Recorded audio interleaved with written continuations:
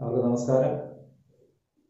അമൃതം സംസ്കൃതം എന്ന യൂട്യൂബ് ചാനലിലേക്ക് അവർക്കും ഒരിക്കൽ കൂടി സ്വാഗതം. നമ്മളിന്ന് അഞ്ചാം ക്ലാസ്സിലെ സുന്ദരവായും ജീവലോക എന്ന പ്രഥമ പാഠത്തിന്റെ പഠന പ്രവർത്തനങ്ങളിലേക്ക് പോവുകയാണ്. നമുക്ക് പഠന പ്രവർത്തനങ്ങൾ ചെയ്യാം. ഒന്നാമത്തെ പ്രവർത്തനം ബാലകവിത സതാളം ആലപതു എന്നുള്ളതാണ്. അപ്പോൾ ആ നമ്മൾ പഠിച്ച സുന്ദരവായും ജീവലോക എന്ന കവിതയിലെ വരികൾ പന്ത്രണ്ട് വരികളും നല്ലതുപോലെ നല്ല ഈണത്തിലും ഭാവത്തിലും ഒക്കെ വായിക്കാൻ നമ്മൾ പഠിച്ചു അതുപോലെ വായിച്ച് മനസ്സിലാക്കുക ചെയ്യുക. അതാണ് ഒന്നാമത്തെ പ്രവർത്തനം. രണ്ടാമത്തെ പ്രവർത്തനം നമ്മുടെ പുസ്തകത്തിന്റെ അടുത്ത പുറത്തിൽ അതായത് എട്ട് ഒൻപത് പത്ത് പുറങ്ങളിൽ പത്ത് പതിനൊന്ന് പുറങ്ങളിൽ പല ചിത്രങ്ങൾ കൊടുത്തിട്ടുണ്ട്. ആ ചിത്രങ്ങൾ നോക്കിയിട്ട് അത് പഠിക്കുക എന്നുള്ള അപ്പോൾ ഓരോ പദങ്ങളും എഴുതി ആ ഓരോ ഒരു പടങ്ങളിലും എന്താണ് പറയുന്നത് എന്നുള്ളത് നമുക്ക് നോക്കി ഓരോന്നോരോന്ന് പഠിക്കാം. ഒന്നാമത്തെ ചിത്രം നമ്മൾ കാകകയാണ് ബോർഡിൽ എഴുതുന്നു. കാകക നോക്കിക്കോളൂ കാകക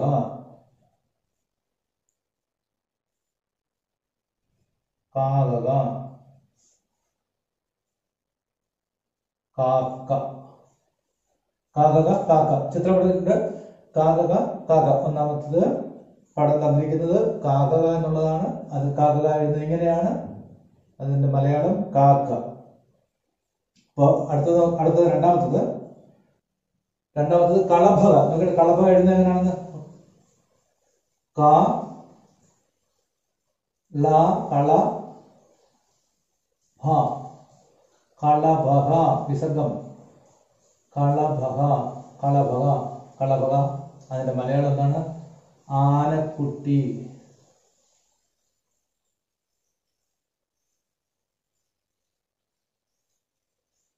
കളഭക കളഭക കളഭക വിസർഗം കളഭക ആനക്കുട്ടി. മൂന്നാമത്തെ ചിത്രം നമ്മുടെ പാഠപുസ്തകത്ത് കൊടുത്തിരിക്കുന്ന മൂന്നാമത്തെ പ്രവർത്തനം വാനര. രണ്ടാമത്തെ പ്രവർത്തനത്തിൽ മൂന്നാമത്തെ ചിത്രം വാനരക എന്നുള്ളതാണ്. പടം നോക്കൂ വാനരക കുരങ്ങൻ. നമുക്ക് എങ്ങനെ എഴുതി നോക്കാം വാനരക. നോക്കട്ടെ വാ ന ര വിസർഗം. വാനരക. വാനരക. അർത്ഥം എന്താണ് മലയാളത്തിൽ? കുരങ്ങൻ. കുരങ്ങൻ. വാനരഹ ഇത് വാ ഈ ഒരു വര ദീർഘമാണ് രഹ മാനരക കുരങ്ങൻ. അടുത്ത ആ പ്രവർത്തനം നാലാമത്തെ ചിത്രം. മാനാണ് മാനിന് സംസ്കൃതത്തിൽ ഹരിണക എന്ന് പറയും. നോക്കട്ടെ ഹരിണക ഹാ എഴുതുകയാണ് ഹാ. ഹാ. വള്ളി ടു. ര ഹരി ന എഴുതി വിസർഗം ഹരിണഹ ഹരിണഹ. എന്താണ്? മാൻ. മാൻ. ഹരിണഹ മാൻ. ചിത്രങ്ങളുണ്ട് ഹരിണഹ മാൻ. അടുത്ത ചിത്രം മാർജാരക എന്നാണ്. മാർജാരക പൂച്ചയാണ്. നോക്കട്ടെ മാർജാരക എഴുതുന്ന എങ്ങനെ നോക്കാം? നമ്മൾ മാ എന്നെഴുതി മാ. മാ. ജാ എഴുതി. മാ. ദീർഘോട്ട് മാജ. ഇവിടെ ഇതിന്റെ വെച്ചിട്ടുണ്ട് മാർജ മാർജാരഹ. മാർജാരഹ മാർജാരഹ പൂച്ച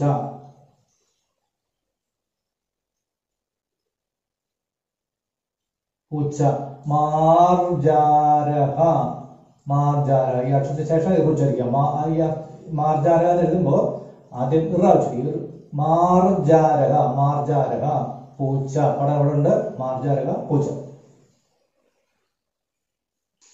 അടുത്ത പടം നമുക്ക് തന്നേക്കുന്നത് നായുടെ പടമാണ്. അത് നമുക്ക് നായ്ക്ക് പറയുക ശുനകത എന്നാണ് സംസ്കൃതത്തിൽ. നമുക്ക് എഴുതുന്ന ശുനകത ശുനക എന്ന് എഴുതാൻ നോക്കാം? നമുക്ക് ഇത് ഷായായി ഇങ്ങനെ വരുന്നത് ഷൂ ന ക ശുനക ശുനക നായ ശുനകക ശുനകക ശുനകക നായ. പടം നോക്കൂ. ശുനകക നായ.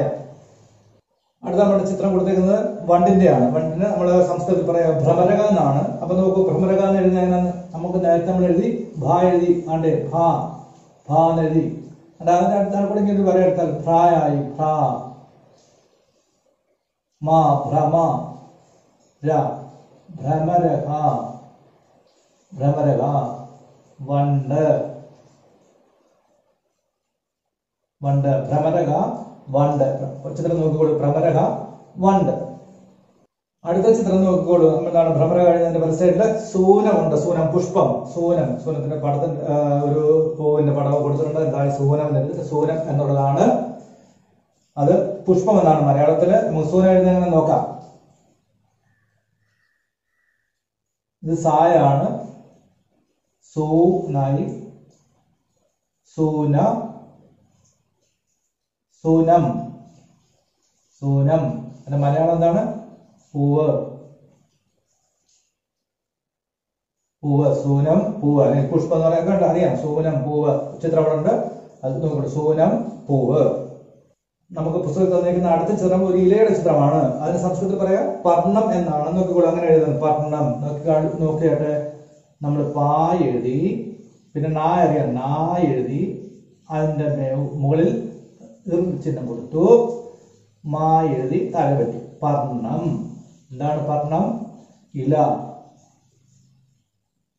പർണം പർണം ഇല. പർണം ഇല. ചിത്രത്തിൽ നോക്കിക്കോളൂ. പർണം ഇല. ആ നമ്മുടെ പുസ്തകത്തിന്റെ അടുത്ത ചിത്രം എന്താണ്? ഒരു അമ്മയും കുഞ്ഞുമാണ്. അപ്പൊ അമ്മ അമ്മയുടെ പേരാണ് അമ്പ എന്നാവും. അമ്പ. അമ്പ എന്ന് വെച്ചാൽ എന്താണ്? അമ്മ. അമ്പ അമ്മ. നമുക്ക് എഴുതി നോക്കാം. അമ്പ എങ്ങനെയാണ്? നോക്കട്ടെ അറിയാമല്ലോ നിങ്ങൾക്ക് ആ ഇത് അറിയാം. ആ ആ ഇത് ആ എന്നാണ്. പിന്നെ മായയുടെ പകുതി എഴുതി. ബാ എഴുതി. ബാ അതെ ബാ. ദീർഘം. അമ്പ. അമ്പ. അമ്പ നമുക്ക് മലയാളത്തിൽ അമ്പ എന്ന് എഴുതാം അമ്മ എന്ന് എഴുതാം. എന്തായാലും അമ്മ എന്ന് എഴുതാം അല്ലേ? അമ്മ അമ്പ അമ്മ. ചിത്രം. അമ്മയുടെ ചിത്രം ഇവിടെ ഉണ്ട്. അമ്പ അമ്മ.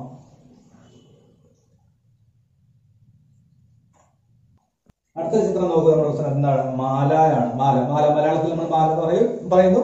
സംസ്കൃതത്തിൽ അത് തന്നെയാണ് മാല എന്നാണ്. നമുക്ക് എഴുതി നോക്കാം. മാല എങ്ങനെയാണ് മാല എഴുതുന്നത്? നോക്കിയിട്ട് മാ ലാ എഴുതി ദീർഘം. മാല. മലയാളത്തിൽ എഴുതുമ്പോ മാ മാല. ഇവിടെ പടമുണ്ട് മാല. മലയാളത്തിൽ മാല. മലയാള പടമുണ്ട് നോക്കിയാണ്. അടുത്ത നോക്കിയുള്ളൂ അടുത്ത നമ്മുടെ പുസ്തകത്തെ കുറിച്ച്. ഉടനെ ചെറിയ ഒരു വാഴപ്പഴത്തിന്റെ ഒരു പഴത്തിന്റെ വാഴപ്പഴം എന്നൊരു പഴം എന്ന് പറയാൻ പറ്റും. ഇത് വാഴപ്പഴമാണ്. നമ്മൾ പഴം എന്നാണ് പറയുന്നത്. പഴമാണ്. ഇപ്പോ പഴത്തിൽ പൊതുവെ നമ്മൾ പഴത്തിന് നമ്മൾ പൊതുവെ ഫലം എന്ന് പറയും. ഏത് പഴത്തിനാലും ഫലം എന്ന് പറയാം. അപ്പൊ നമ്മുടെ പുസ്തകത്തിൽ ഫലമാണ്. അത് നോക്കിയാട്ടെ എങ്ങനെ എഴുതുന്നത്? ഫലം എന്ന് എഴുതുന്നത് എങ്ങനെയാണ്? ഭ ല ഫലം. അതെ നമ്മൾ മലയാളത്തിൽ പഴം എന്ന് പറയും. ഫലം പഴം. ഫലം പഴം. പഴം നോക്കിക്കോളൂ. ഫലം പഴം. അടുത്ത നോക്കിക്കോളൂ. നമ്മുടെ പുസ്തകത്ത് കൊടുത്തേക്കുന്ന അടുത്ത ചിത്രത്തിൽ ഒരു ലതയുടെയാണ് ഒരു വള്ളിയുടെയാണ്. നമുക്ക് നോക്കാം. ലത അപ്പൊ ചില സ്ത്രീകളുടെ പേരുണ്ട് ലത എന്നുള്ളത്. അപ്പൊ വള്ളിക്ക് ലത എന്ന് പറയുന്നുണ്ട് നോക്കി ലത എഴുതുന്ന നോക്കട്ടെ ലത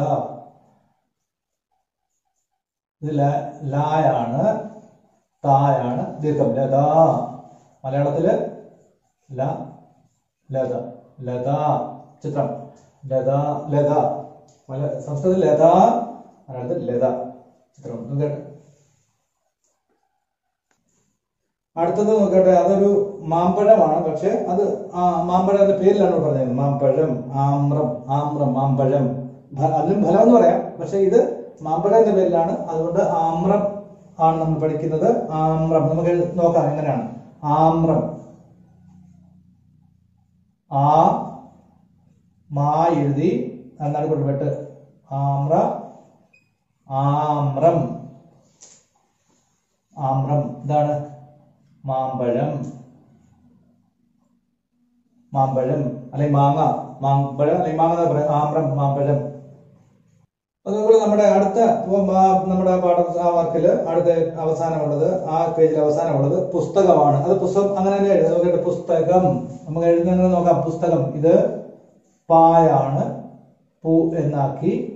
സായയുടെ പകുതി.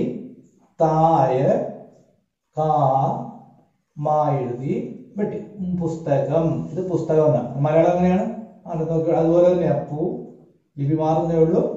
പുസ്ത പുസ്തകം. പുസ്തകം. പുസ്തകം. പുസ്തകം. പുസ്തകം. പടം നോക്കിക്കോളൂ. പുസ്തകം. പുസ്തകം മൂന്നാമത്തെ പ്രവർത്തനം. ചിത്രാണി പശ്യതു വദതു എന്നുള്ളതാണ്. ചിത്രാണി പശ്യതു വദതു ചിത്രങ്ങൾ നോക്കൂ. പറയൂ. അപ്പൊ അതിനകത്ത് ഏകവചനത്തെ സൂചിപ്പിക്കുന്ന അതായത് ഒരാളിനെ സൂചിപ്പിക്കുന്ന ദ്വിവചനത്തെ സൂചിപ്പിക്കുന്ന രണ്ടുപേരെ സൂചിപ്പിക്കുന്ന രണ്ടിലധികം ആൾക്കാരെ മൂന്നോ മുപ്പതോ ഒക്കെ എത്രയാവാം? മൂന്ന് രണ്ടിലധികം വരുന്ന ആൾക്കാരെ സൂചിപ്പിക്കുന്ന വചനങ്ങളാണ്. ഏകവചനം ദ്വിവചനം ബഹുവചനം. ഏകവചനം എന്ന് പറഞ്ഞാൽ ഒരാളെ സൂചിപ്പിക്കുന്നതാണ് ദ്വിവചനം എന്ന് പറഞ്ഞാൽ രണ്ടുപേരെ സൂചിപ്പിക്കുന്നതാണ് ബഹുവചനം എന്ന് പറഞ്ഞാൽ രണ്ടിൽ കൂടുതൽ എത്ര വന്നാൽ. അപ്പൊ അങ്ങനെ ഒരു പ്രവർത്തനമാണ്. നമുക്ക് നോക്കാം ഓരോന്നും എഴുതി നോക്കാം. നോക്കിയാട്ടെ ബോർഡിലോട്ട് നോക്കുക. നോക്കിക്കോളൂ ബാലക ബാലക രണ്ട്. ബാലക ബാല രണ്ട് രീതിയിലും പറയാം. എന്താണ്? ബാലക ഒരു ആൺകുട്ടി. ബാലക ബാലക ബാലക ബാലക ആൺകുട്ടി. ഒരാൺകുട്ടിക്ക് ബാലക എന്ന് പറയും. അത് നമുക്ക് ബാലക എന്ന് പറയാം. ബാലക ബാലക ഈ ക ഇല്ല ഇവിടെ. വിസർഗം മാത്രമേ ഉള്ളൂ. ബാലക ഒരു ആൺകുട്ടി. ഇത് രണ്ട് ഈ രണ്ട് രീതിയിൽ പറഞ്ഞാൽ ഒരാൺകുട്ടി നമുക്ക് അടുത്തത് രണ്ടാൺകുട്ടികൾക്ക് ബാലകവും ബാലകൗ.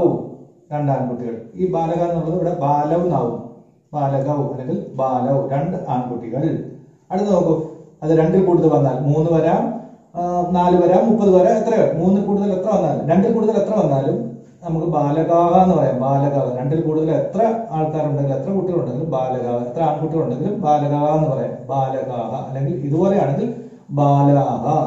അപ്പോ ഒരാൺകുട്ടിക്ക് ബാലക അല്ലെങ്കിൽ ബാല ബാലക രണ്ട് ആൺകുട്ടികൾക്ക് ബാലകവും അല്ലെങ്കിൽ ബാലവും രണ്ടിൽ കൂടുതൽ ആൺകുട്ടികൾ. എത്ര ആൺകുട്ടികൾ ഉണ്ടെങ്കിൽ നമുക്ക് ബാലകാക എന്ന് പറയാം അല്ലെങ്കിൽ ബാലാക എന്ന് പറയാം. ബാലക ബാലകൗ ബാലകാക അല്ലെങ്കിൽ ബാലക ബാലൗ ബാലക. അടുത്ത അടുത്ത ചിത്രം നോക്കിയാട്ടെ. അടുത്ത താഴെ. ബാലിക. നമുക്ക് ബാലിക. പ്രതിപ്പോട്ട് ബാലിക പെൺകുട്ടി. ബാലിക പെൺകുട്ടി. രണ്ട് പെൺകുട്ടികൾക്ക് ബാലികേ എന്ന് പറയും. ബാലികേ ബാലികേ. രണ്ട് പെൺകുട്ടികൾ. ബാലിക ഒരു പെൺകുട്ടി. ബാലികേ രണ്ട് പെൺകുട്ടികൾ അടുത്ത നോക്കിക്കോളൂ ബാലികാഹ ബാലികാഹ. രണ്ടിൽ കൂടുതൽ എത്ര പെൺകുട്ടികൾക്ക് നമുക്ക് ബാലിക എന്ന് പറയാം? അപ്പോ രണ്ടിൽ കൂടുതൽ എത്ര പെൺകുട്ടികൾ വന്നാലും ബാലിക എന്ന് പറയാം. നോക്കിക്കോളൂ ബാലിക ഒരു പെൺകുട്ടി ബാലികയെ രണ്ട് പെൺകുട്ടി ബാലിക രണ്ടിൽ കൂടുതൽ പെൺകുട്ടികൾ. അപ്പോൾ ഒരു പെൺകുട്ടി രണ്ട് പെൺകുട്ടികൾ രണ്ടിൽ കൂടുതൽ പെൺകുട്ടികൾ. ബാലിക ബാലികയെ ബാലിക അടുത്ത നോക്കിക്കോളൂ. നമ്മൾ അടുത്ത തൊട്ട് താഴെ ഇപ്പൊ ആൺകുട്ടികൾ കഴിഞ്ഞു പെൺകുട്ടികൾ കഴിഞ്ഞു. അടുത്ത നോക്കട്ടെ ഫലം. പഴം എന്താ ഫലം. ഒരു പഴത്തിന് ഫലം എന്ന് പറയുമ്പോൾ ഒന്ന് ആണ് ഫലം. ആ ഫലം ഒന്നിൽ കൂടുതൽ രണ്ടെണ്ണം വന്നാൽ ഫലേ എന്ന് പറയും. ഇപ്പൊ ഒരു പഴത്തിന് ഫലം എന്ന് പറയും. രണ്ട് പഴത്തിന് ഫലേ എന്ന് പറയും. രണ്ടിൽ കൂടുതൽ പഴങ്ങൾ വന്നാൽ ഫലാനി എന്ന് പറയും. ഇപ്പോ ഫലം ഒരു പഴം ഫലേ രണ്ടു പഴം ഫലാനി രണ്ടിൽ കൂടുതൽ പഴങ്ങൾ. ഫലം ഫലേ ഫലാനി പഴം രണ്ട് പഴം പഴങ്ങൾ നമ്മൾ നാലാമത്തെ പ്രവർത്തനം സമുചിതം പദം ചിത്വ ചിത്രസ്യ അധ ലിഖതു എന്താണ് സമുചിതം പദം ചിത്വ? ഉചിതമായ പദം തെരഞ്ഞെടുത്ത് ചിത്രസ്യ അധ ലിഖതു. ചിത്രങ്ങളുടെ അടിയിൽ എഴുതാനാണ് ഇപ്പൊ ഇവിടെ ആ ബ്രാക്കറ്റിൽ പദങ്ങൾ കൊടുത്തിട്ടുണ്ട്. കമലം ശശകക മഹിള കമലേ ശശകൗ കമലാനി മഹിളയെ ശശകാഹ മഹിള. ഇത്രയും പദങ്ങൾ അവിടെ ബ്രാക്കറ്റ് കൊടുത്തിട്ടുണ്ട്. അതിന് താഴെ പടങ്ങളും കൊടുത്തിട്ടുണ്ട്. പടങ്ങളുടെ താഴെ സ്ക്വയർ അല്ലെങ്കിൽ ചതുരവും കൊടുത്തിട്ടുണ്ട്. ആ ചതുരത്തിന് നമ്മൾ അതിന് ഓരോന്നിനും വരുന്ന ആ പദങ്ങളാണ് എഴുതേണ്ടത്. അപ്പൊ നമ്മൾ കഴിഞ്ഞ പ്രവർത്തനത്തിൽ പഠിച്ചു. ഇതാണ് ആൺകുട്ടികൾ ഒരാൺകുട്ടിക്ക് ഇങ്ങനെ പറയും രണ്ട് ആൺകുട്ടിക്ക് എങ്ങനെ പറയും രണ്ട് കൂടുതൽ ആൺകുട്ടികൾ അതുപോലെ ഒരു പെൺകുട്ടി രണ്ട് പെൺകുട്ടി രണ്ട് കൂടുതൽ പെൺകുട്ടികൾ ഒരു പഴം രണ്ട് പഴം രണ്ട് കൂടുതൽ പഴങ്ങൾ അതിലൊക്കെ അങ്ങനെ പറഞ്ഞ് നമ്മൾ പഠിച്ചു. അപ്പൊ അതനുസരിച്ച് ചെയ്യാനുള്ള പ്രവർത്തനമാണ്. അപ്പോൾ അത് നമുക്ക് ഓരോന്നും ചെയ്ത് നോക്കാം. ഓക്കെ. നോക്കുക അതിനകത്ത് ഒന്നാമത്തെ പ്രവർത്തനം താമരയുടെ പടമാണ് കൊടുത്തിരിക്കുന്നത് അല്ലെ? കമലത്തിന്റെ പടം താമരയുടെ പടമാണ്. അപ്പൊ അതിലൊരു താമരയ്ക്ക് എന്ത് പറയും? കമലം. താമര എന്നുള്ളത് മലയാള പദമാണ്. അതിന്റെ സംസ്കൃത പദം കമലം പങ്കജം എന്നൊക്കെയാണ് നമുക്ക് പഠിക്കാനുള്ളത്. നമ്മൾ പഠിച്ചത് കമലം എന്നാണ്. അപ്പൊ ഇവിടെ ഒരു താമരയ്ക്ക് നമ്മൾ കമലം എന്ന് പറയും. കമല വെട്ട് കമലം. രണ്ടാമത്തെ രണ്ടെണ്ണം ഉണ്ടെങ്കിലോ? കമലം താമര രണ്ടെണ്ണം ഉണ്ടെങ്കിൽ നമ്മൾ കമലേ. നമ്മൾ എന്താണ്? ഒരു താമരയ്ക്ക് കമലം രണ്ട് താമര കമലേ. രണ്ടിൽ കൂടുതൽ താമര ഉണ്ടെങ്കിൽ കമലാനി. രണ്ടിൽ കൂടുതൽ കമലാനി. നോക്കിയിട്ട് കമലം കമലേ കമലാനി. കമലം കമലേ കമലാനി. കമലം വെച്ചാൽ ഒരു താമര. കമലേ രണ്ട് താമരകൾ. കമലാനി രണ്ടിൽ കൂടുതൽ താമര പോകും. അത് മൂന്ന് ഇവിടെ മൂന്ന് പടം ഉണ്ട് മൂന്നെണ്ണം ഉണ്ട്. അതിൽ മൂന്ന് കൂടുതൽ വന്നാലും കമലാനി എന്നാണ് പറയുന്നത്. ഓക്കെ അപ്പൊ നമുക്ക് അടുത്തത് കമല കഴിഞ്ഞിട്ട് അടുത്തത് ശശകത ആ പടം എന്താണ്? മുയലിന്റെ പടമാണ്. അപ്പൊ ശശകത മുയൽ മുയൽ എന്താ പറയുക സംസ്കൃതത്തിൽ ശശകത എന്ന ബ്രാക്കറ്റ് കിടപ്പുണ്ട് ശശകത ആ ബ്രാക്കറ്റിൽ നിന്ന് ശശകത എന്നുള്ള പദം ആ ഒരു മുയലിന്റെ അടുത്ത് എഴുതാം. ശശകത ഒരു മുയൽ. അപ്പൊ രണ്ട് മുയൽ എന്ന് പറയും നമ്മൾ നേരത്തെ പഠിച്ചിട്ടുണ്ടല്ലോ. എന്താണ് ബാലകൗ അപ്പൊ അതുപോലെ ശശകൗ രണ്ട് മുയലിന് ശശകൗ. രണ്ടിൽ കൂടുതൽ മുയലുകൾ വന്നാൽ ശശകാക. ഇതുപോലെയാ ബാലകക ബാലകൗ ബാലകാഹ എന്ന് പറയുന്നത് പോലെ ശശകക ശശകൗ ശശകാക ഇത് മൂന്നും ആ മുകളിലത്തെ ബ്രാക്കിൽ കിടപ്പുണ്ട്. ആ ബ്രാക്കിൽ നിന്നിട്ട് ഓരോ പടത്തിനെയും താഴെ ശശകക ശശകൗ ശശകാക എഴുതുക. അടുത്ത നോക്കിക്കോളൂ നമ്മുടെ ബ്രാക്കറ്റ് കിടക്കുന്ന പദങ്ങളിൽ നമുക്ക് എവിടെ ഏത് പദം എടുക്കണം? മഹിള സ്ത്രീ. അപ്പൊ നമുക്ക് എടുക്കാം. ഒരു സ്ത്രീക്ക് നമുക്ക് മഹിള എന്ന് എഴുതാം. മഹിള. രണ്ട് സ്ത്രീകൾക്ക് മഹിളെ. നമ്മൾ ബാലിക എന്ന് പഠിച്ചില്ലേ? ബാലിക ഒരു പെൺകുട്ടി. ബാലികെ രണ്ട് പെൺകുട്ടി അല്ലെങ്കിൽ മഹിളെ രണ്ട് സ്ത്രീകൾ. അപ്പൊ എന്ത് ബാലക ബാലകത എന്ന് പറയുമ്പോൾ അത് പുല്ലിംഗമാണ് ബാലകത ഒരാൺകുട്ടി. ബാലകൗ രണ്ടാൺകുട്ടികൾ പക്ഷെ ബാലിക എന്ന് പറയുമ്പോൾ ഒരു പെൺകുട്ടി. അവിടെ ബാലികയെന്ന് വരത്തുള്ള ഉദ്ധിവചനം. രണ്ട് പേർക്ക് ബാലികയെ. അപ്പൊ അതുപോലെ മഹിളയെ മഹിള ഒരു സ്ത്രീ മഹിളയെ രണ്ട് സ്ത്രീകൾ. അവിടെ രണ്ടിൽ കൂടുതൽ വന്നാലോ മഹിളാഹ എന്ന് പറയാം. മഹിളാഹ. അപ്പോ മഹിള ഒരു സ്ത്രീ മഹിളയെ രണ്ട് സ്ത്രീകൾ മഹിളാഹ രണ്ടിൽ കൂടുതൽ സ്ത്രീകൾ. അപ്പൊ അത് മൂന്നാവാം നാലാവാം മുപ്പതാവാം എത്രയാവാം? രണ്ടിൽ കൂടുതൽ എത്ര വന്നാലും നമുക്ക് ബഹുവചനമാണ് മഹിളാഹ എന്ന് പറയാം. അപ്പൊ നമ്മുടെ നോക്കിയിട്ട് അഞ്ചാ അടുത്ത പ്രവർത്തനം അഞ്ചാമത്തെ പ്രവർത്തനം പ്രവർത്തനം ലിംഗാനുസാരം പട്ടികം കരുതു ലിംഗാനുസാരം ലിംഗത്തിനനുസരിച്ച് പട്ടിക പൂരിപ്പിക്കാൻ. അപ്പൊ ലിംഗം എന്ന് പറഞ്ഞാൽ നമ്മൾ നേരത്തെ പഠിച്ചു. ആൺകുട്ടികൾക്ക് ബാലകക അത് ഒരാൺകുട്ടി ബാലക എന്നും രണ്ട് ആൺകുട്ടികൾക്ക് ബാലക എന്നും രണ്ട് കൂടുതൽ ആൺകുട്ടികൾക്ക് ബാലക എന്നും പഠിച്ചു. അത് പുല്ലിംഗമാണ്. പുല്ലിംഗം. ആൺകുട്ടികളെ അല്ലെങ്കിൽ ആണുങ്ങളെ സംബന്ധിക്കുന്നത് അത് പുല്ലിംഗം. അടുത്തത് സ്ത്രീലിംഗമാണ് പെണ്ണുങ്ങളെ സംബന്ധിച്ച്. ഇപ്പൊ ബാല നമ്മൾ പഠിച്ചു ബാലിക ഒരു പെൺകുട്ടിക്ക്. ബാലികയെ രണ്ട് പെൺകുട്ടികൾക്ക് ബാലികാഹ രണ്ടിൽ കൂടുതൽ പെൺകുട്ടികൾ. അത് സ്ത്രീലിംഗം. അപ്പൊ പുല്ലിംഗം അറിയാം സ്ത്രീലിംഗം നമ്മൾ പഠിച്ചു സ്ത്രീലിംഗം നമ്മൾ പഠിച്ചു അറിയാം. അടുത്തത് നപുംസകലിംഗം ആണും അല്ല പെണ്ണും അല്ലാത്തത് നമുക്ക് കണ്ടാൽ നമ്മുടെ കാഴ്ചയിൽ കണ്ടാൽ ആണാണോ പെണ്ണാണോ എന്നറിയാൻ പറ്റാത്ത കാര്യം. അത് നപുംസകലിംഗം അപ്പോ അതാണ് ഇപ്പൊ ആൺകുട്ടി പെൺകുട്ടി ആൺ ആൺവാചിയായിട്ടുള്ളത് പെൺവാചിയായിട്ടുള്ളത് രണ്ട് നമ്മൾ പഠിച്ചു. അത് നപുംസലിംഗവും പഠി- പഠിച്ചു. അതിലേതാണ് നമ്മൾ ഫലം പഠിച്ചില്ലേ? പഴം ഫലം. അത് നമുക്ക് പഴം ആണാണോ പെണ്ണാണോ പറയാൻ ഒക്കെയല്ലോ അപ്പൊ അത് ആണ് ഏതാണ്? നപുംസകലിംഗം. അപ്പൊ അതുപോലുള്ള ഫലം പുസ്തകം ഇതൊക്കെ എന്താണ്? നപുംസകലിംഗങ്ങളാണ്. അപ്പൊ അത് ഒരു പഴത്തിന് നമ്മൾ ഫലം എന്ന് പഠിച്ചു. രണ്ടാമത്തെ രണ്ട് പഴങ്ങൾക്ക് ഫല എന്ന് പഠിച്ചു. രണ്ട് കൂടുതൽ പഴങ്ങൾ വന്നാൽ ഫലാനി നമ്മൾ പഠിച്ചു. അപ്പൊ അതാണ് പുല്ലിംഗവും സ്ത്രീലിംഗവും നമസ്ലിംഗവും അപ്പൊ നമുക്ക് തന്നിരിക്കുന്ന അഞ്ചാമത്തെ വർക്ക് അതാണ്. പ്രവർത്തനം അതാണ്. എന്താണ്? ബ്രാക്കറ്റിൽ കുറെ പദങ്ങൾ തന്നിട്ടുണ്ട്. ഭ്രമരക ഫലം കോകിലക നൗക കച്ചപക ശുണ്ട ചന്ദനം തൂലിക വൃക്ഷക പുസ്തകം പർണം വനിത ചിത്രം ചാപകം അപ്പൊ അത് നമ്മളത് നോക്കിയിട്ട് ആ പുല്ലിംഗം അതിനെ ഒരു ഗ്രൂപ്പ് ആക്കുക സ്ത്രീലിംഗം അതിനെ ഒരു ഗ്രൂപ്പ് ആക്കുക നൗസലിംഗം അതിനെ ഒരു ഗ്രൂപ്പ് അങ്ങനെ പുല്ലിംഗ സ്ത്രീലിംഗം നൗസലിംഗങ്ങളെ ഓരോരോ ഗ്രൂപ്പുകളാക്കി ചെയ്യുക എന്നുള്ളതാണ് അടുത്ത അഞ്ചാമത്തെ പ്രവർത്തനം. നമുക്കത് ചെയ്യാം. ബ്രാക്കറ്റ് കിടക്കുന്ന പദങ്ങൾ ഭ്രമരക വണ്ട് ഫലം എന്ന് വെച്ചാൽ പഴം കോകിലക കുയിൽ നൗക വഞ്ചി കച്ചപക ആമ ശുണ്ട തുമ്പിക്കയ്യ് ചന്ദനം ചന്ദനം തൂലിക എന്ന് വെച്ചാൽ പേന വൃക്ഷക വൃക്ഷം പുസ്തകം പുസ്തകം പർണം ഇല വനിത സ്ത്രീ ചിത്രം ചിത്രം ശാപക വില്ല്. ഇത്രയും പദങ്ങളാണ് കൊടുത്തിരിക്കുന്നത്. നമുക്കത് എന്തായിട്ട് ഇരിക്കണം പുല്ലിംഗം എന്നായിട്ടും സ്ത്രീലിംഗം എന്നായിട്ടും നവംസലിംഗം മൂന്ന് ഗ്രൂപ്പായിട്ട് പുല്ലിംഗ സ്ത്രീലിംഗ നവംസലിംഗ ഗ്രൂപ്പുകളിലേക്ക്. അതായത് പുല്ലിംഗത്തിലെ ഒരു ഗ്രൂപ്പ് സ്ത്രീലിംഗത്തിലെ ഒരു ഗ്രൂപ്പ് നവംസലിംഗത്തിലെ ഒരു ഗ്രൂപ്പ് ഇങ്ങനെ മൂന്ന് ഗ്രൂപ്പുകളാക്കി നമ്മൾ മാറ്റേണ്ടതായിട്ടുണ്ട്. അപ്പൊ നമ്മൾ നോക്കുക. ഇതിനകത്ത് ചെയ്യേണ്ടത് അപ്പൊ ഇവിടെ ഓരോ ഉദാഹരണം തന്നിട്ടുണ്ട്. പുല്ലിംഗത്തിൽ നമുക്ക് ഉദാഹരണം തന്നിട്ടുണ്ട് കച്ചപക. കച്ചപക എന്താണ്? അത് പുല്ലിംഗമാണ്. സ്ത്രീലിംഗത്തിന്റെ ഒരു ഉദാഹരണം തന്നിട്ടുണ്ട് ചുണ്ട നവസലിംഗത്തിന്റെ ഒരു ഉദാഹരണം തന്നിട്ട് ചിത്രം. അപ്പൊ നമ്മൾ എന്ത് ചെയ്യുക ആദ്യം നോക്കുക. അപ്പൊ ഇതിന്റെയൊക്കെ വ്യത്യാസം നോക്കുക ഇത് മൂന്നും തമ്മിലുള്ള വ്യത്യാസം എന്താണ്?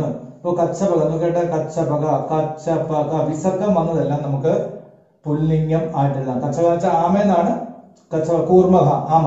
കച്ചവ എന്ന് പറഞ്ഞാൽ ആമേന്നാണ് അപ്പൊ ആ വിസർഗം വന്നതെല്ലാം പുല്ലിംഗ രൂപത്തിലേക്ക് വരും. ഇവിടെ ഇതിനകത്ത് ഈ ഗ്രൂപ്പിൽ ഏതൊക്കെ വിസർഗത്തിൽ വിസർഗം ചേർത്ത് എഴുതിയിട്ടുണ്ടോ ആ പദങ്ങളെല്ലാം എവിടേക്ക് വരും? നമ്മുടെ വിസർഗം എന്ന് പറഞ്ഞാൽ അറിയാം. നേരത്തെ നമ്മൾ പറഞ്ഞിട്ടുള്ളതാണ്. താഴെയും മുകളിലായിട്ട് രണ്ട് എന്താണ്? രണ്ട് അനുസ്വാരം ഓരോ അനുസ്വാരങ്ങൾ അല്ലെങ്കിൽ ഇതിന് വിസർഗം എന്നാ പറയുക ഈ ചിഹ്നത്തിന്. അപ്പൊ വിസർഗം വരുന്നതെല്ലാം നമുക്കൊരു ഗ്രൂപ്പാക്കാം അതാണ് ഏതാ പുല്ലിംഗ ഗ്രൂപ്പുകൾ അപ്പൊ ഈ നമ്മുടെ ഈ ഗ്രൂപ്പിൽ തന്നിരിക്കുന്ന പദങ്ങളിൽ ഏതൊക്കെ പദങ്ങളിൽ വിസർഗം വരുന്നുണ്ടോ ആ വിസർഗം വരുന്നതെല്ലാം നമുക്ക് ഈ ഗ്രൂപ്പിലേക്ക് മാറ്റി എഴുതാം അപ്പോൾ അത് എന്തായി? പുല്ലിംഗമായി. ഇവിടെ കച്ചവ എന്നുണ്ട് അപ്പൊ കച്ചവ എന്ന് പറയുമ്പോൾ ഏതൊക്കെയുണ്ട്? ഭ്രമരക നമുക്കിവിടെ ഭ്രമരക. പിന്നെ ഏതുണ്ട് കോകിലക അത് ഈ ഗ്രൂപ്പിൽ വരും. കൊച്ച് എഴുതിയിട്ടുണ്ട്. പിന്നെ പിന്നെന്തുണ്ട് വൃക്ഷക. പിന്നെന്തുണ്ട് ചാവക അപ്പൊ ഇത്രയും പദങ്ങൾ ഇവിടെ വരും. നമുക്കൊന്ന് അതുപോലെ സ്ത്രീലിംഗം. നോക്കട്ടെ ഇവിടെ എന്താ അതിന്റെ പ്രത്യേകത? ശുണ്ടാ ദീർഘത്തിൽ അല്ലെ ദീർഘത്തിൽ അവസാനിക്കുക. ശുണ്ടാ ദീർഘത്തിൽ അവസാനിക്കുക. ശുണ്ടാ ദീർഘത്തിൽ അവസാനിക്കുന്ന പദങ്ങളെല്ലാം ഇവിടെ ഏതൊക്കെയുണ്ട് നമുക്ക്? ഇവിടെ ആദ്യത്തെ പ്രവരക ഫലം കോകില നൗക. നൗക ഇവിടെ വരും? നൗക. ശുണ്ട എഴുതിയിട്ടുണ്ട് ഇവിടുത്തെ. തൂലിക പിന്നെന്തുണ്ട്? വനിത. അപ്പൊ ഇത്രയും വരും ഇവിടെ. എന്തൊക്കെയാണ്? ചുണ്ട ഉണ്ട്. നൗക തൂലിക വനിത. നൗക തൂലിക വനിത എല്ലാം ഇവിടെ വരും. അപ്പോ ഈ വിസർഗ വനിത എല്ലാം പുല്ലിംഗവും ഇങ്ങനെ ദീർഘിച്ച അല്ലെങ്കിൽ നീട്ടി വരുന്ന പറയുന്ന പദങ്ങളെല്ലാം സ്ത്രീലിംഗവും അടുത്ത ചിത്രം. ഇവിടെ എന്താ അങ്ങനെ അവസാനിക്കുക? ആ പദങ്ങൾ ഇത് തമ്മിലുള്ള വ്യത്യാസം എന്താണ്? കച്ചപക ഇവിടെ വിസർഗത്തിൽ അവസാനിക്കുന്നു. ചുണ്ട എന്നുള്ളത് നീട്ടി ഉച്ചരിച്ച് അവസാനിക്കുന്നു. ചിത്രം. അവിടെ എന്താ വ്യത്യാസമുള്ളത്? അവിടെ അം ചിത്രം അം അവസാനിക്കുക. ചിത്രം. അപ്പൊ അങ്ങനെ വരുന്നതല്ല. നമുസലിംഗ ഗ്രൂപ്പിലേക്കും വരും നോക്കട്ടെ ചിത്രം. ഇവിടെ എന്തൊക്കെയുണ്ട്?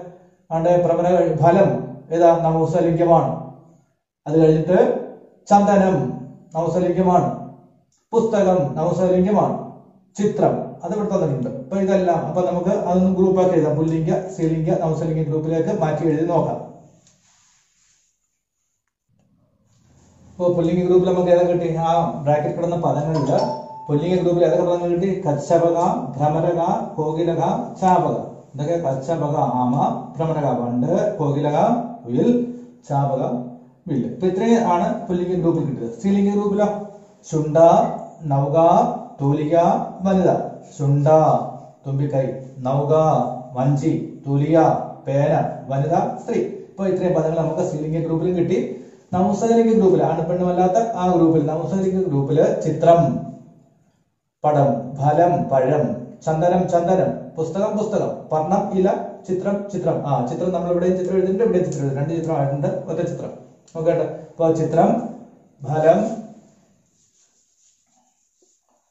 ചിത്രം ഫലം ചന്ദനം പുസ്തകം പർണം ഇത്രയാണ് നമുക്ക് ആ ഗ്രൂപ്പിലുള്ളത്. നോക്കിയിട്ട് ഒന്നുകൂടെ നോക്കിയിട്ട് കച്ചപക നോക്കാം. കച്ചപക അത് നോക്കട്ടെ. കച്ചപക ഭ്രമരക കോകിലക ചാപക ചുണ്ട സ്ത്രീലിംഗം നൗക തൂലിക വനിത. നവസലിംഗത്തിൽ ചിത്രം ഫലം ചന്ദനം പുസ്തകം പർണം. ഇത്രയും നമുക്ക് ഇങ്ങനെ ഉള്ള മൂന്ന് ഗ്രൂപ്പാക്കി എഴുതാം. അപ്പൊ ഇതെല്ലാം പുല്ലിംഗമാണ് ഇതെല്ലാം സ്ത്രീലിംഗമാണ് ഇതെല്ലാം നവസലിംഗങ്ങളും ആണ്. അപ്പൊ ആ അഞ്ചാമത്തെ പ്രവർത്തനം അവിടെ അവസാനിക്കുന്നു. നമുക്ക് തൊട്ട് അടുത്ത പ്രവർത്തനത്തിലേക്ക് പോകാം. ആറാമത്തെ പ്രവർത്തനം നമ്മുടെ ഒന്നാമത്തെ പാഠത്തിലെ ആറാമത്തെ പ്രവർത്തനം. ചിത്രാണി ദൃഷ്ട വാക്യാനി വരതു. ചിത്രാണി എന്ന് വെച്ചാൽ ചിത്രങ്ങൾ ദൃഷ്ടുവ. കണ്ടിട്ട് വാക്യാനി വാക്യങ്ങൾ വരതു പറയുന്നതാണ്. അവിടെ ഒരു ചിത്രങ്ങൾ കൊടുത്തിട്ടുണ്ട്. ആ ചിത്രങ്ങൾ കണ്ടിട്ട് അതിന് എഴുതി കൊടുത്തിട്ടുണ്ട്. അത് എന്തൊക്കെയാണെന്ന് നമുക്ക് പഠിക്കാം. അപ്പോൾ ചിത്രം നോക്കുക. എന്താണെന്ന് നമുക്ക് പഠിക്കാം. നോക്കിയാൽ ഒന്നാമത്തെ ചിത്രം ബാ ലി ബാലിക പടതി. ബാലിക പടതി. എന്താ ബാലിക പടതി? ബാലിക. ബാലിക നമ്മൾ നേരത്തെ പഠിച്ചു. ബാലിക പെൺകുട്ടി. ഒരു പെൺകുട്ടി. ബാലിക പടതി. ഒരു പെൺകുട്ടി പഠിക്കുന്നു. ബാലിക പടതി. ഒരു പെൺകുട്ടി പഠിക്കുന്നു. അതാണ് നമ്മുടെ ഒന്നാമത്തെ വാക്യം. ഒന്നാമത്തെ പടം. ഒരു പെൺകുട്ടി പാഠം പഠിക്കുന്നു. അപ്പൊ അത് പറയുന്നത് ഇങ്ങനെയാണ്. ബാലിക ഒരു പെൺകുട്ടി പടതി പഠിക്കുന്നു. അപ്പൊ അടുത്ത പടം നോക്കൂ. എന്താ ഒരു ആൺകുട്ടി എഴുതുകയാണ് ബാലക. അപ്പൊ ആൺകുട്ടി നമ്മൾ പഠിച്ചിട്ടുണ്ട്. ബാലക. നമ്മൾ എഴുതാൻ നോക്കാം. കേട്ടെ. ബാ ബാല ബാലക. എഴുതുന്നതിന് ലിഖത്തി എന്നാ പറയാ? ബാലക.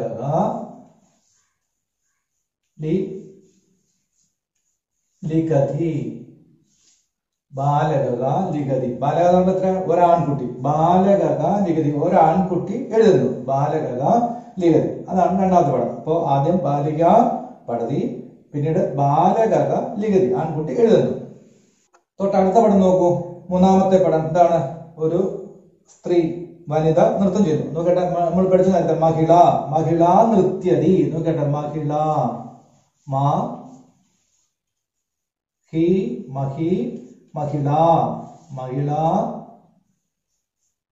തിരിച്ച് നൃ പകുതി യായ വള്ളി തായ. നൃത്യതി മഹിള നൃത്യതി മഹിള നൃത്യതി എന്ത് ചെയ്യുന്നു? സ്ത്രീ നൃത്തം ചെയ്യുന്നു. മഹിള നൃത്യതി നമ്മൾ ആദ്യം പഠിച്ചു. ബാലിക പടതി പെൺകുട്ടി പഠിക്കുന്നു. ബാലക ലിഖതി ആൺകുട്ടി എഴുതുന്നു. മഹിള നൃത്യതി സ്ത്രീ നൃത്തം ചെയ്യുന്നു. അടുത്തത് നമ്മൾ പതിമൂന്നാമത്തെ പേജിൽ അതായത് നാലാമത്തെ ചിത്രം ചിത്രം. നാല് ചിത്രം എന്താണ്? നായ കുരയ്ക്കുന്നു. നമുക്ക് അങ്ങനെ നോക്കാം. ശുനകക ഭക്ഷതി. ശുനകക നോക്കിയോളൂ ശുനകക ഇത് ശ പശു ന ശുനകക ശുനകക ഭ ഷ തി. ശുനകക ഭക്ഷതി. നായ കുരയ്ക്കുന്നു ആദ്യം ബാലിക പടതി പിന്നെ ബാലകക ലിഖതി ആൺകുട്ടി എഴുതുന്നു. അടുത്തത് മഹിള നൃത്യതി. സ്ത്രീ നൃത്തം ചെയ്യുന്നു. അടുത്തത് നാലാമത്തത് നമ്മൾ എന്താ പഠിച്ചത്? ശുനകക ഭക്ഷതി. നായ കുരയ്ക്കുന്നു അടുത്ത പടം നോക്കൂ. എന്താണ്? ഒരു മുയൽ ഓടുകയാണ്. അപ്പൊ മുയലിനെ നമ്മൾ നേരത്തെ പഠിച്ചു അല്ലെ? എന്താണ്?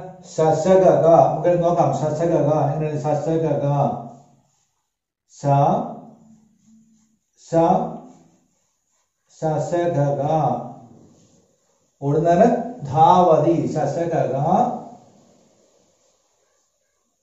ധാവതി ധാവതി സസഗഗ ധാവതി അപ്പോ ആദ്യം പഠിച്ചത് എന്താണ്? ശശകക ധാവതി അത് നമ്മൾ എന്ത് പഠിച്ചു? എഴുതാം മലയാളത്തിൽ ശശകക എന്ന് എഴുതാം. പിന്നെ മുയൽ ഓടുന്നു എഴുതാം. മുയൽ ഓടുന്നു എന്ന് എഴുതാം. നോക്കട്ടെ മുയൽ ഇങ്ങനെ എഴുതാം. മുയൽ ഓടുന്നു ഇങ്ങനെ എഴുതാം നമുക്ക് അല്ലേ? ഇതിന്റെ സംസ്കൃതമാണ്. ഇപ്പൊ ശശകക ധാവതി ശശകക ധാവതി മുയൽ ഓടുന്നു. അപ്പൊ നമ്മൾ ആദ്യം പഠിച്ച എന്താണ്? ബാലിക പടതി ബാലകക ലിഖതി മഹിള നൃത്യതി ശുനകക ഭഷതി ശശകക ധാവതി. അതാണ്. അടുത്ത ഒരു ചിത്രം ഉണ്ടല്ലോ അടുത്ത ചിത്രം എന്താണ്? ഒരു പാട്ടുകാരൻ പാട്ട് പാടുകയാണ് അല്ലെ? ഇപ്പൊ പാട്ടുകാരൻ നമ്മൾ പറയും മലയാളത്തിൽ പറയുന്നല്ലേ ഗായകത. അത് തന്നെ സംസ്കൃതത്തിൽ. നോക്കട്ടെ ഗായക ഗായ ഗായകക പാടുന്നതിന് ഗായതി. ഗായക ഗായതി. ഗായ ഗായക ഗായതി. പാട്ടുകാരൻ പാടുന്നു.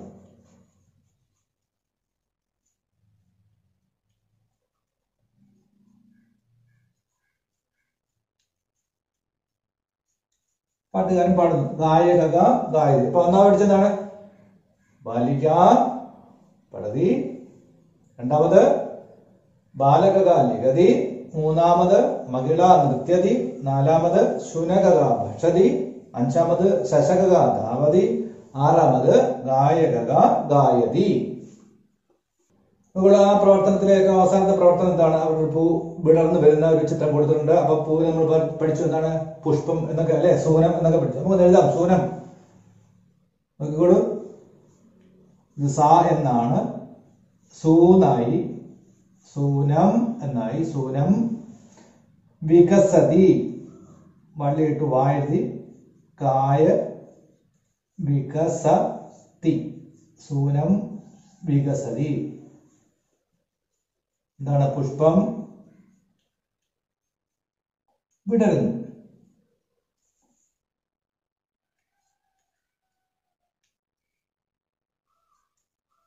പുഷ്പം വിടുന്നു സൂനം വികസതി. പുഷ്പം വിടരുന്നു. പുഷ്പം വിടരുന്നു. സൂനം വികസതി. പുഷ്പം വിടരുന്നു. അപ്പൊ നമ്മൾ ഒന്നാമത്തെ എന്താ പഠിച്ചത് ബാലിക പടതി. രണ്ടാമത് ബാലകഥ ലിഖതി. മൂന്നാമത് മഹിള നൃത്യതി. നാലാമത് ശുനകക ഭക്ഷതി അഞ്ചാമത് ശശകക ധാവതി ആറാമത് എന്താണ് പഠിച്ചത്? ഗായക ഗായതി ഏഴാമത് സൂനം വികസതി. ഇത്രയാണ് നമ്മൾ പഠിച്ചത്.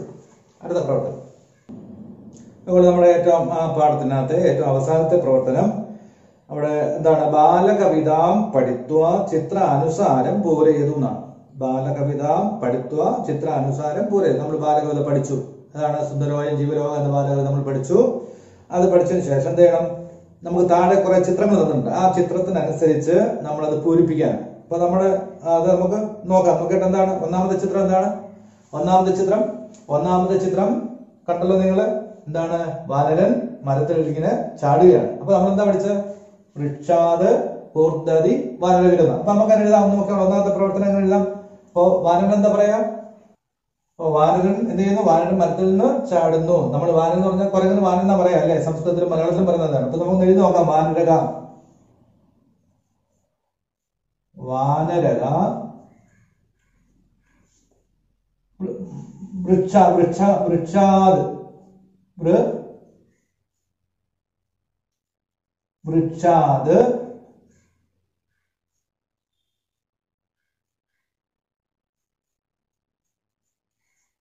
കൂർദതി. വാനരക വൃക്ഷാത് കൂർദതി. വാനരക വൃക്ഷാത് കൂർദതി. കുരങ്ങൻ അല്ലെങ്കിൽ വാനരൻ വൃക്ഷത്തിൽ നിന്നും ചാടുന്നു. നമ്മൾ പഠിച്ച പാടത്തുണ്ട് അല്ലേ? വൃക്ഷാത് കൂർദതി വാനരവീരോ. അതുകൊണ്ട് അപ്പൊ നമുക്ക് വാനരക കുരങ്ങൻ വൃക്ഷാത് മരത്തിൽ നിന്നും കൂർദതി ചാടുന്നു അതാണ് ഒന്നാമത്തെ പടം. വാനരക വൃക്ഷാത് കൂർത്തതി വാനരൻ വൃക്ഷത്തിൽ നിന്നും ചാടുന്നു. ഇതാണ് ഒന്നാമത്തെ പടം. അടുത്തത് എന്താണ്? കാണാൻ ഒരു മാൻ ഓടുന്നതായിട്ടാണ് നമ്മൾ പഠിച്ചല്ലോ. വരികൾ എന്താ? ഹരിണോധാവ്യത്യതിരുചിരമ്പോ അങ്ങനെ എഴുതാം നമുക്കത്. മാൻ എന്താ പറയാ? ഹരിണക ഹ രി ഹരിണക ഹരിണക ഓടുന്നതിന് പഠിച്ചു നമ്മൾ? ധാവതി. ഹരിണക ധാവതി ഹരിണക ധാവതി. മാന് ഓടുന്നു. ഹരിണക ധാവതി. അതാണ് രണ്ടാമത്തെ ചിത്രം. അടുത്ത മൂന്നാമത്തെ ചിത്രം എന്താണ്? കുയിൽ പാടുന്നതാണ് അല്ലെ? കുയിൽ നമ്മൾ എന്താ പഠിച്ചത് പാഠത്തിൽ പികസ്തു ഗായതി. നൃത്യതി കേൾക്കുന്നത് പഠിച്ചില്ലേ? പികസ്തു അപ്പൊ പികക അപ്പൊ നോക്കിയാട്ടെ. പികക പി പികക കുയിൽ പികക കുയിൽ പികക എന്ത് ചെയ്യുന്നു? ഗായതി പാടുന്നു. ഗായതി ഗായതി പികക ഗായതി മൂന്നാമത്തെ ചിത്രം മൂന്നാമത്തെ ചിത്രം പികക ഗായതി അടുത്ത നാലാം ചിത്രം എന്താണ് നമ്മൾ പഠിച്ചാലോ കച്ച എന്താ കച്ചപ ബോധക എന്താ കച്ചപ ബോധക ആമ കുഞ്ഞ് അല്ലേ കച്ച നമുക്ക് എഴുതാം കച്ചപ ബോധക ഗച്ഛതി ചായയുടെ പകുതി ച കച്ചപ പോ പോതക പച്ചവ പോതക.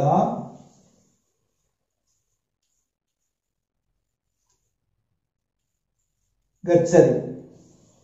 കച്ചപ പോതക കച്ചപ പോതക ഗച്ഛതി.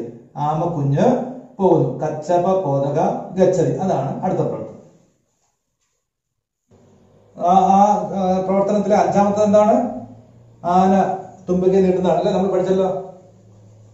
കളപസുബീരോ ചുണ്ട എന്ന് പറഞ്ഞ് പഠിച്ചില്ലേ? എന്താ? അപ്പൊ എന്താ? എങ്ങനെ എഴുതാം നമുക്ക്. കളപസുബീരക അല്ലെ കളപക കളപക ചു നായുടെ പകുതി ഡായ്. ശുണ്ടാം. ശുണ്ടാം. പ്രസരതി. കളപക ചുണ്ടാം പ്രസരി. ആനക്കുഞ്ഞ് അല്ലെങ്കിൽ ആനക്കുട്ടി തുമ്പിക്കൈ നീട്ടുന്നു. ആനക്കുട്ടി തുമ്പിക്കൈ നീട്ടുന്നു. അതാണ് അഞ്ചാമത്തെ പ്രവർത്തനം.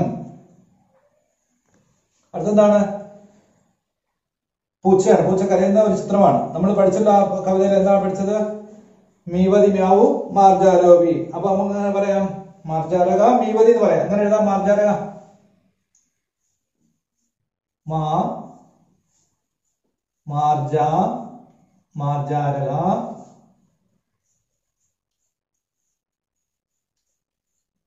മീവതി. മാർജാരക മീവതി മാർജാരക മീവതി പൂച്ച കരയുന്നു. അതാണ് അടുത്തത്. അടുത്ത പ്രവർത്തനം എന്താണ്? ഒരു പൂവ് വിടുന്നതാണ് നമുക്ക് പഠിച്ചിട്ടുണ്ട്. പൂവിന് എന്താ പറയാ? സൂനം. സൂനം അല്ലെ? സൂനം. സൂ സൂനം.